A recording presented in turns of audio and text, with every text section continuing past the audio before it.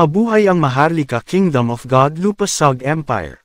Mega love shoutout mga kaibigan ako po si Tech Shider at welcome sa aking YouTube channel.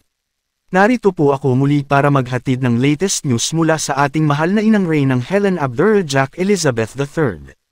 Sa video po na ito ay nakapaloob ang mga mensahe ng ating mahal na inang ng Helen na pansamantalang ipinapatigil muna ang pagpapagawa ng Royal Citizen Identity Card o RCI. Para sa mga detalye ating pong panuurin hanggang matapos ang video.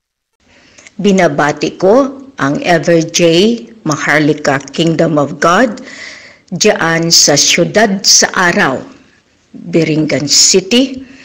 Maraming maraming salamat po sa aking mga pamilya na talagang humihiling na ng pagkakataon na kilalanin diyan sa ating mga lolo na walang humpay na nagsusubaybay, maraming salamat.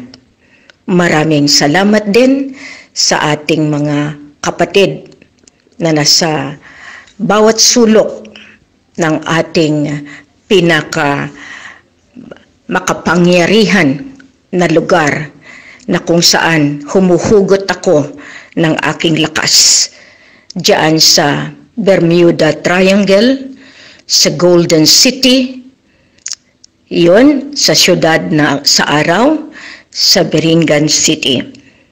Maraming maraming salamat dahil nalagpasan ko ang mga pagsubok na naihahain sa aking pangaanan nang dahil sa mga problema na hindi ko kayang lagpasan kapag wala kayo, lalo na dahil nandiyan ang Allah, ang Diyos Ama, ang ating mga kasama na talagang walang panahon na umatras, kundi diretso na dahil ang panahon ng nakatakda ay gumanap na.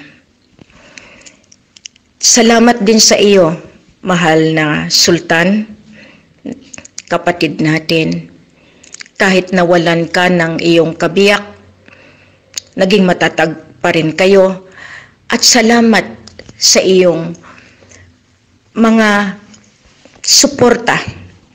At lalo ngayon na talagang iniuutos ninyo na para linisin ang aking daanan ang aming daanan ni Radya Mamay. Bawat araw, ang aming buhay ay nasa binbin ng kamatayan. Subalit, iyan nga ang sabi ko sa inyo. Tayo ay tinawag para magmisyon, para ipakita sa buong mundo na meron pa tayong isang Diyos Ama, isang Allah na nagmamahal ng lubos sa atin lahat. Inutos sa akin ng matanda natin, hindi lamang isa, dalawa, tatlo, para mahugasan ang aming dignidad, ang aming kredibilidad. Pansamantalang ipinapahinto ang pagpagawa ng RCI ng Royal Citizen Identity Card dahil marami ang gumagawa nang hindi na namin alam at iyan ay ginagamit na para kami mismo sirain at para kami na ang sasalo sa kanilang mga ginagawang hindi angkop doon sa inuutos. Salamat sa iyo, Kuya Sultan. Salamat sa iyo, Lolo, na nagbabantay. At nagpapasalamat ako, Ama Ali, dahil itong mga utos na ito ay susundin ko po ng lubos-lubos para sa ikabubuti ng lahat. Dahil ang pera maraming nasisilaw. Sa maliit na halaga, ipinagkalulupo kami ng mahal na hari. Marami na ang napahamak at napapahamak na ang ating mga lolo na nandiyadyaan sa front line mismo. Kasi daigdig ang ating binabantayan. Kaya nga lumabas ang Bermuda Triangle, ang Golden City, ang siyudad sa araw, Beringan City. Iyan ang Lemuria, ang pinakamabigat na bantay ni Queen kung saan ang ilalim, ang kalangitan, lahat iyan nagsama-sama para sa kaligtasan ng bawat isa. Itong broadcast na ito, may punto ng kabigatan, ang paghinga na hindi tuwid dahil ako mismo nagsasakripisyo para sagipin ang bawat isa sa inyo. Ipagdasal natin dahil hindi lamang ako ang sinasaktan, lalo na ang mahal na hari. Spiritually, physically, nagkakaroon ng infliction dahil sa pag-agaw ng katauhan ng may katauhan. Hindi po sila natigil at wala silang parahon din para tumigil dahil nga umangkin na sila ng hindi sa kanila at umapak sila doon sa tinatawag na hindi sa kanila. Yan kung bakit si Queen nahihirapan. Bakit si Queen tinitikis ng iba? Bakit si Queen ayaw tulungan sa kanilang paniniwala na kung ako'y makalabas, mauunahan ko sila. Ang misyon na ito hindi kompetisyon. Hindi ito paglamang sa kapwa. Gumanap ako dahil yun ang kagustuhan ng Diyos Ama, ng Allah. Kaya nga meron akong nakita diyan sa Facebook. Maraming salamat yung gumawa ng mukha ko at mukha ni mahal na hari na bilang aso. Kaya nga, I have to console myself. Cute naman, kaya nga maraming nagre-react.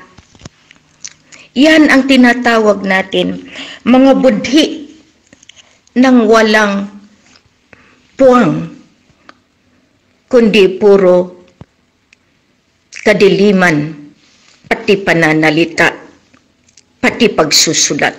Kilala po namin sila. Dahil ang isa nagdidikta para maging tausog ang pananalita. Ang isa naman magaling sa paggawa ng mga edition ng mga cartoons kumbaga at yung isa naman, iyon ang may poder kuno para gumawa niyan. Salamat pa rin. Pasalamat pa rin. Pero ang punto dito, para ma-redirect ng lolo, pansamantala, ipahinto ang paggawa ng RCI. Kasi kahapon sa messenger, dahil nga marami, talagang inakita ko iba ang na-post dahil yun ang dahilan sa master list na pinabigay, malalaman pa rin, natuntun pa rin. Kaya nga, ang mas nasasaktan, ang mga kuya ko na mga sultan. Kuya, kung alam mo lang, kaya nga, siyempre, susundin ko po kayo. Susundin ko ang lolo na nagsabi. Susundin ko ang apo. Dahil sino ba naman? Si Helen. Nakita ninyo ang pagsira, ang pag-apak sa dignidad namin, ang walang respeto, ang kawalang hiyaan na kaya kaming patayin sa salita. Wala akong magawa dahil sila ay nabalutan ni si Roy. At si si Roy ang siyang namugad sa kanilang mga puso at iyan din ang namumutawi sa kanilang mga bibig. At iyan din ang dahilan na ang mga kamay nila kayang sumulat ng karumaldumal at hindi katanggap-tanggap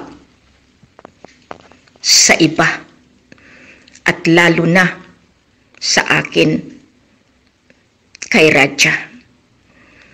Pagdasal natin. Lalo ngayon, marami silang pera. Nagpakawala sila ng 4 bilyones para saktan kami. Para agawin ng aming mga testamento.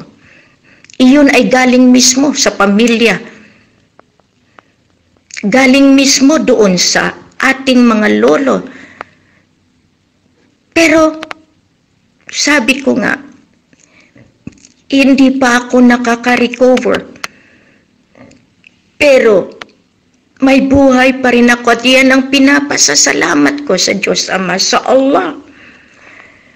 Kaya lahat tayo ngayon, lahat tayo, isa-isa natin gampanan ang ating mga role dito sa mundong ibabaw. Marami na ang nasasaktan. Marami nang nagugutom. Kaya nga, nagmadali tayo para sa ating kinabukasan.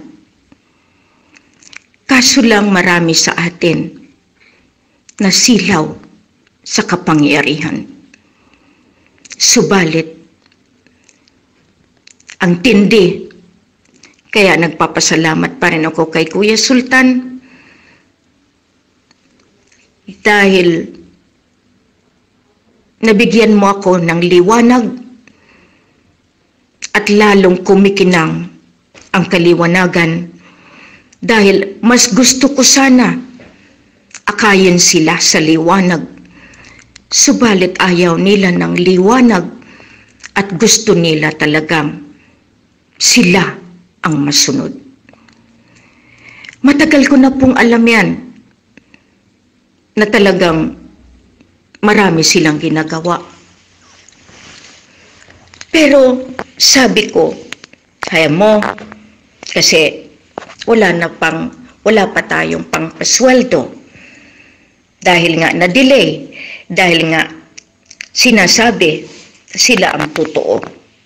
At ako ay peke, si Radya ay peke. Subalit, mas mabigat at mas matindi ang nadidiscover ko kahit ako'y nakaratay sa banig, takama. Dahil siyempre, 13 years na misyon na ito. Hindi basta-basta. Araw-gabi ang pagtrabaho. Araw-gabi ang pagbantay sa mundo. At iyan, inilabas ko ang aking mga kasama diyan sa Bermuda Triangle, sa Golden City, sa siyudad sa araw, sa Beringan City. Iyan ang puwersa na alam ko hindi ako pababayaan. Sa kalangitan, mga arkanghel, mga anghel,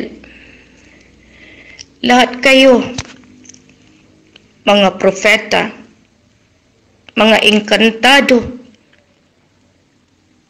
lolo sa incant spirit sa seven makdom, pati po kayo na damay at ginawa kayong pangalan na hindi angkop doon sa kagustuhan ninyo. magkaiba po ang pag-iisip. Kaya nga, yung mga nagsasalita ng kawalang hiyaan na tausog, idiretso nyo rin dahil hindi nyo alam ang mismong hindi nyo nakikita ang siyang nasa tabi nyo at siyang magbibigay sa inyo ng kaparusahan. Si Queen binantayan mulat mula pa. Kaya nga, kahit anong pagsubok, tumitibay. Dito, sa lupang pangako. Kaya nga yan hinahanap ninyo. Tinitingnan ninyo kung saan ang lost paradise. Ang lupang pangako. Ang pinakapromisa ng Diyos Ama sa lupa. Ang rule ng tao tapos na. Ito ngayon ang rule ng mga inkantao na kailangan magsama-sama dahil kung wala ka niyan, mahirap ang pagpatupad sa inyong mga puso ang divino gobyerno. Divine authority, divine mandate, diyan ako. Bawat hinga ko, binabalik ko sa Kanya. Ang siyang may gawa sa akin, ang siyang nagpunla sa akin, ang siyang nag-create sa akin. Dahil alam ko, isang iglap lamang ang buhay at tayo ay humantong sa kabilang buhay kung tayo ay nasa Kanya. Pero paano kung hindi? Saan tayo mapupunta? Pero ako sigurado dahil alam ko na hindi rin ako pabayaan ng lolo. Lumantad ang lolo. Nagpakita ang lolo. Nagkatawang tao ang lolo. Ang ama ali. Umiiyak din. Dahil lahat ito ang pagsubok na hindi nyo akalain. Lahat tayo sinusubukan. Kaya nga, Pasko na. Alam ko rin, ang paniniwala ko hanggang langit. Dahil ang kaganapan ay mangyayari. Kung tinalikuran man tayo nila, may dahilan din sila. Pero sa doon na talagang nakarinig, pagpapatawad na lang ang hiling ko sa inyo. Dahil kung talagang totoo silang mga kasama, alam nila ang hinagpis ni Queen, ang pangangailangan ni Queen. Dahil lahat naman ito para sa inyo, para sa buong mundo. Hindi para sirain. Ang inumpisahan ko 13 years ago ay para kilalanin ang lupang pangako na naibalik natin na makita ng ating mga pamilya sa ibang dako ng mundo. Kaya nga ako'y nagpapasalamat ng malakmi, malaki. Dahil buhay pa ako. Buhay pa ang mahal na hari. Buhay tayong lahat. Para namnamin ang kayamanan. Para magamit pa natin ang kayamanan na iniwan ng Diyos Ama sa atin. These are holy asset. Hindi iyan basta-basta. Kaya nga, pasalamat lang ako. Dahil puso't isipan, hinawakan ng Diyos Ama.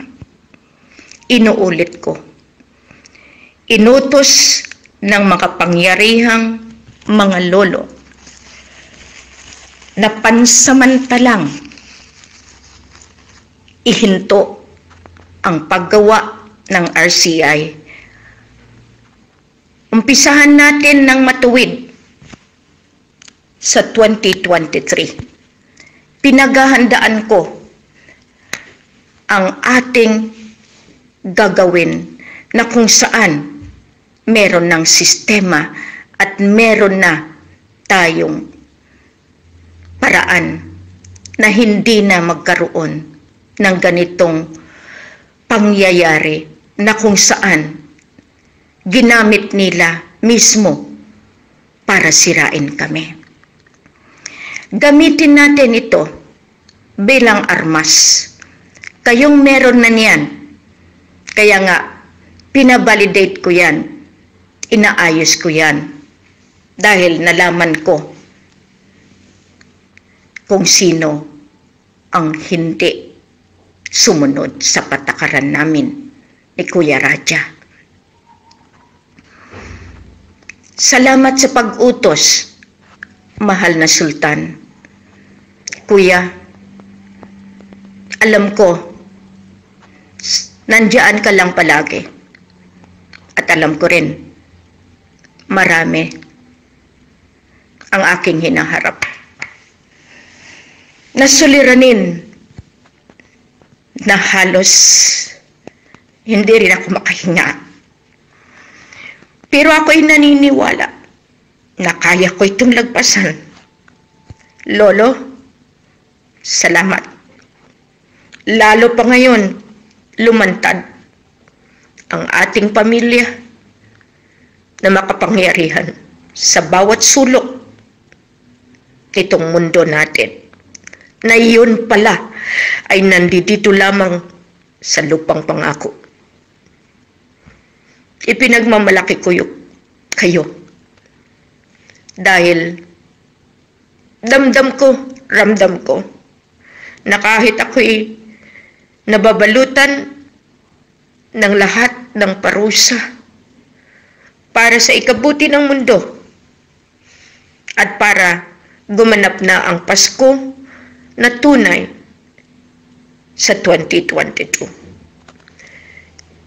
kayong mga nakikinig, kayong mga nahihirapan.